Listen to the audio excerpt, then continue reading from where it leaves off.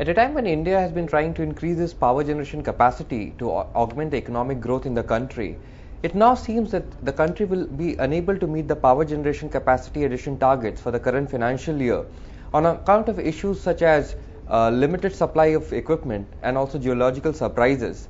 While a target of around 20,359 megawatt was being set up for the current financial year, it has already been revised to 18,600 megawatts